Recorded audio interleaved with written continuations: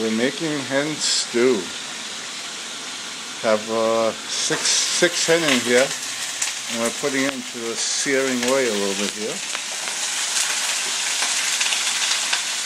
Mmm, it's pretty good. Smells even better.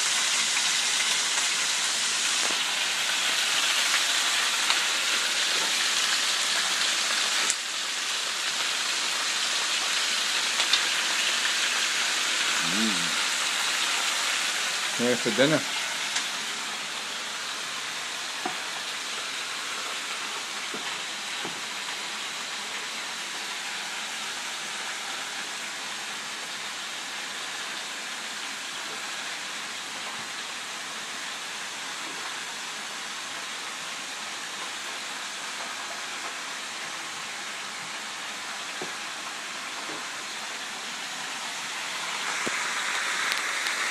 Here we go folks.